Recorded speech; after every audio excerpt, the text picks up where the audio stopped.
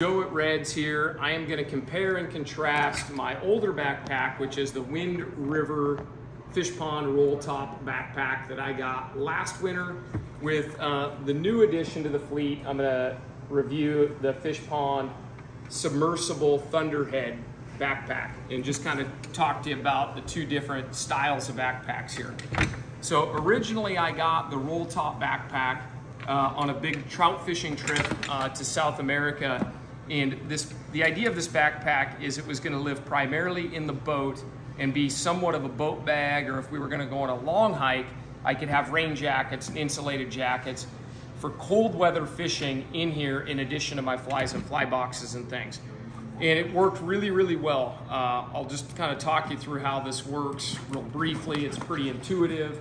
You can really build this thing up and carry a lot of stuff in here. So if you're if you're with a fishing partner, uh, like I was with my spouse on this trip and she gets cold just standing still or doing much of anything. So we had to have a lot of clothes in here.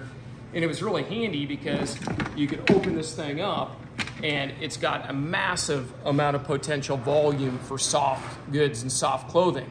So it worked great for that. And we would pack this thing full and as we needed to shed layers or add layers, uh, it was really handy and we were fishing in a lot of inclement weather and it worked really, really great. Very airtight. I mean, you could barely squeeze any air out of that thing. So waterproofness, fantastic. Where the roll top has a disadvantage uh, is as I'm planning my next uh, big saltwater trip, I'm going to, back to Christmas Island for the first time in a long time.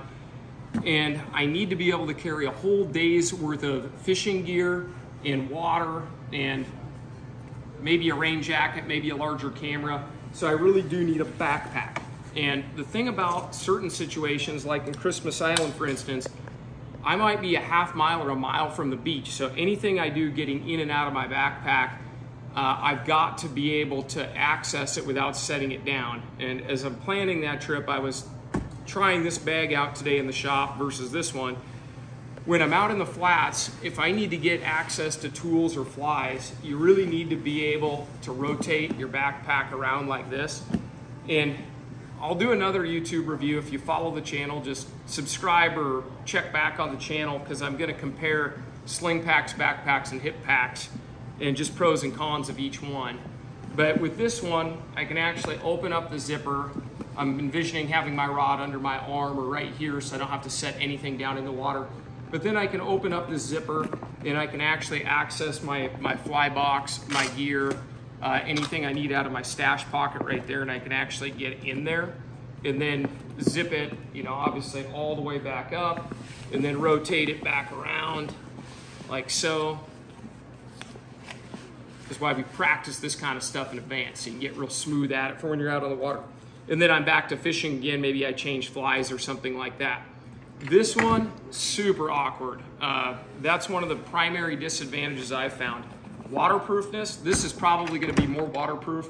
What we find at Reds is that the, the zippered versions with this waterproof zipper, there's an example right there.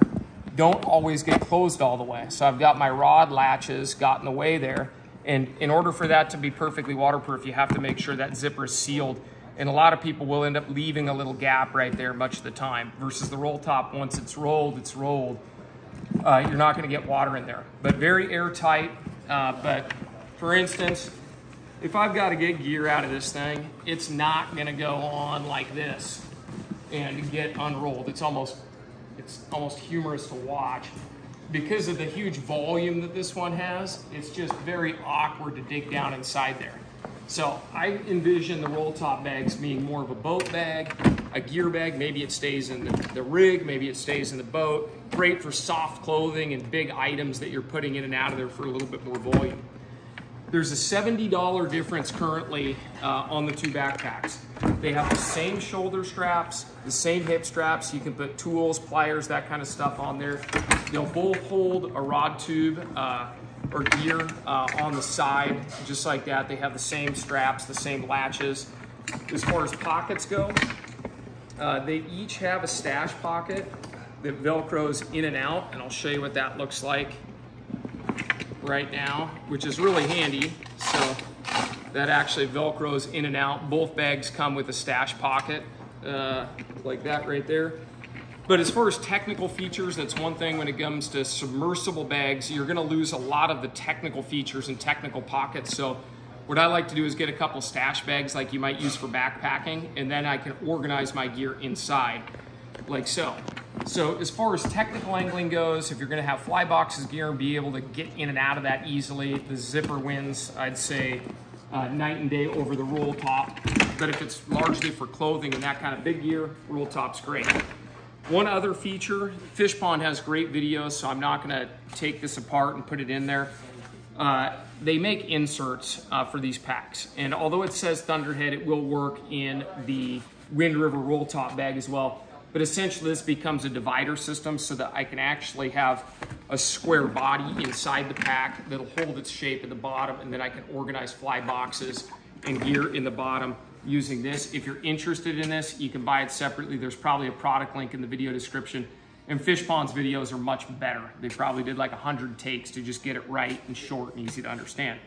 But both good products. Uh, this is the one I'm gonna use uh, for more technical angling is the Fishpond Thunderhead Submersible Backpack. This is going with me on my next Christmas Island trip and probably any all day hiking trips uh, or excursions where I'm gonna need to access gear and flies and other small items out of my backpack from time to time.